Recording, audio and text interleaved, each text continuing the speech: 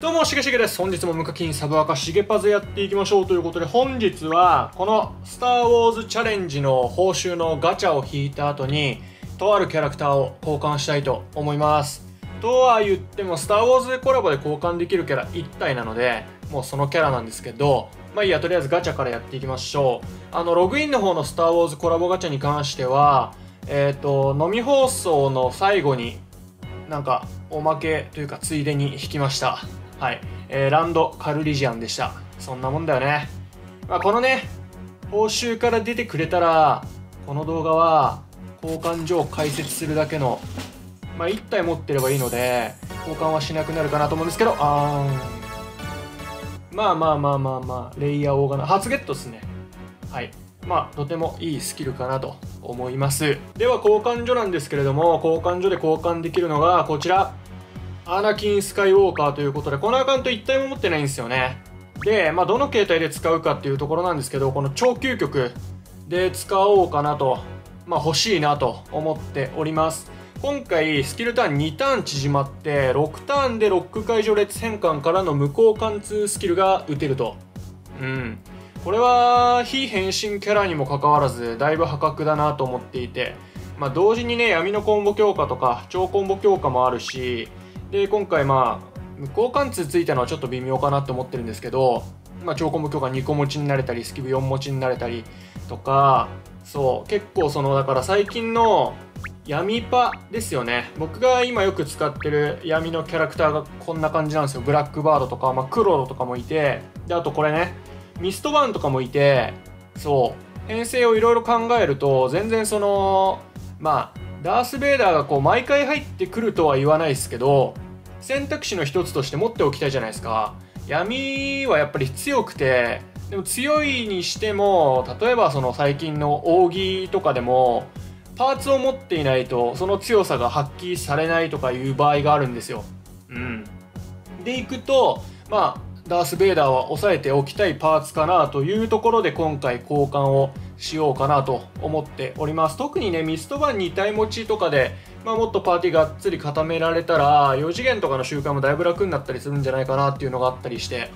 はい欲しいなと思っていたところです。でまあ無効貫通スキルっていうところでいくとあれなんですよね。あのバランを持ってなくてこのアカウント、まあ、結構そのね闇パーの無効貫通役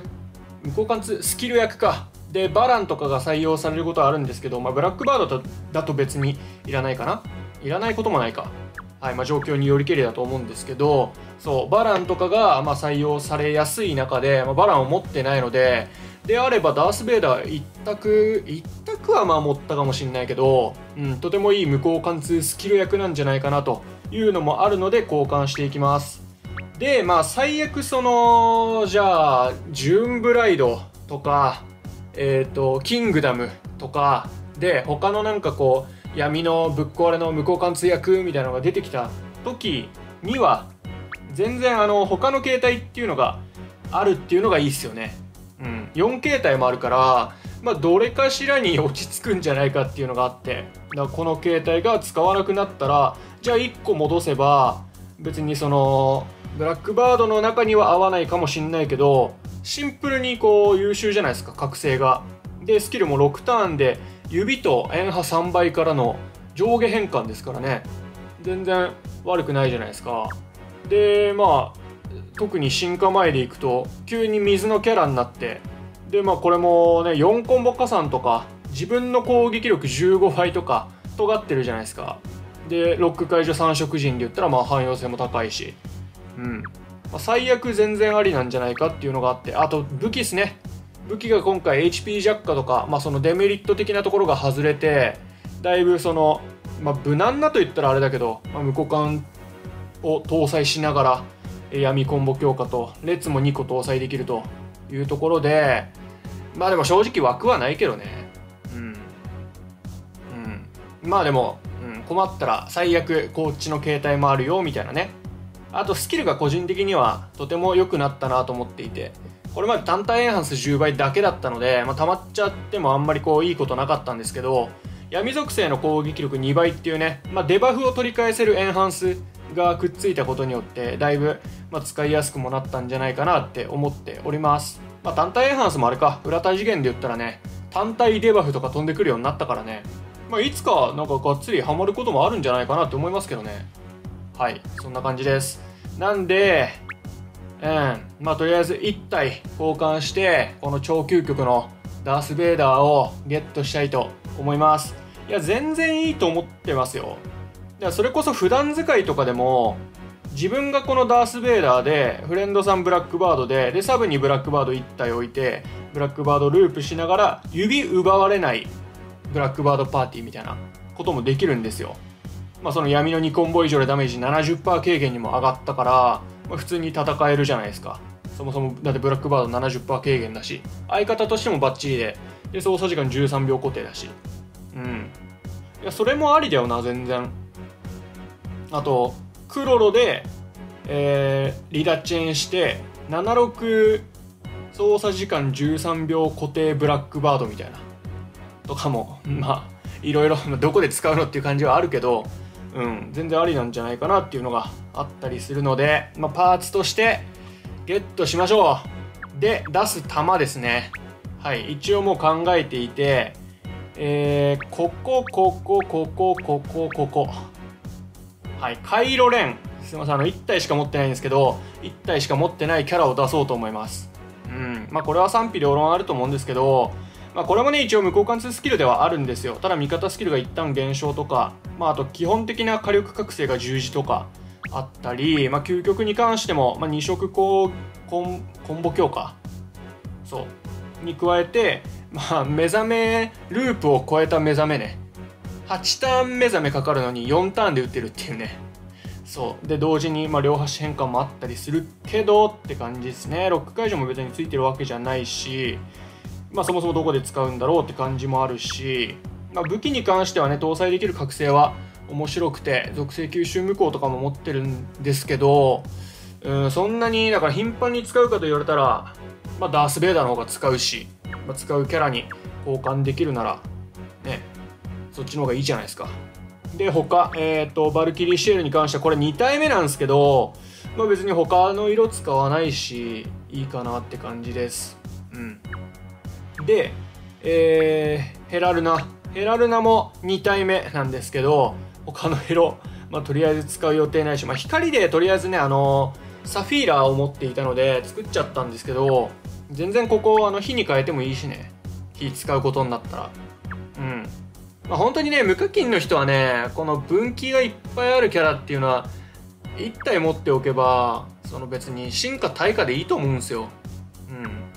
ていうのもあって。はい。で、ファガンに関しては武器を持ってますと。まあ、本体なかなか厳しいですね。この闇の方も出た当初は結構その強かったけど、うん、もう結局、このね、単体性能を超える性能のキャラってもう闇属性多くて多くて、闇パでスタメンを勝ち取る大変さ今めちゃめちゃすごいと思ってる。うん。とかあったり、で、最後はあれですね、ゼログインフィニティコア。これもまあ武器持っててって感じなんですけど、まあ、分岐先がなかなか厳しいかなって思ってますね。このゼローグなんかさ特にさ50%以上でダメージ吸収無効打てたらよかったんだけどね。うん。まあ木の方は木の多色みたいな感じだし。うん。まあなかなか今の僕のプレイスタイル的には使わないというのがあるのでこれでいきたいと思います。いや全く後悔ないっす。ダース・ベイダーで使うもん。すげえいいパーティー組むもんこれから。はい。そんな感じで。いきましょう。はい。はい。ありがとうございます。いやだから本当にねこのキャラ交換しといた方がいい人っていうのは本当にその闇パ組んでる方闇属性の強キャラ数体持ってるような方はダース・ベイダーは全然強いんでうん、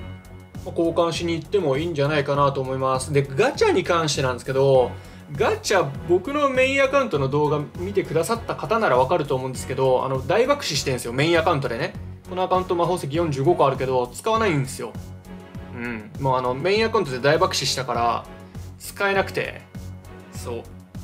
う。なんで、うん、ガチャはおすすめできないんでうん。まあそのね星6でしたっけ？ん？星7か。星7の中にもねこれは星8でそうだよね。星7の中にもだいぶ優秀なキャラはいますよ。例えば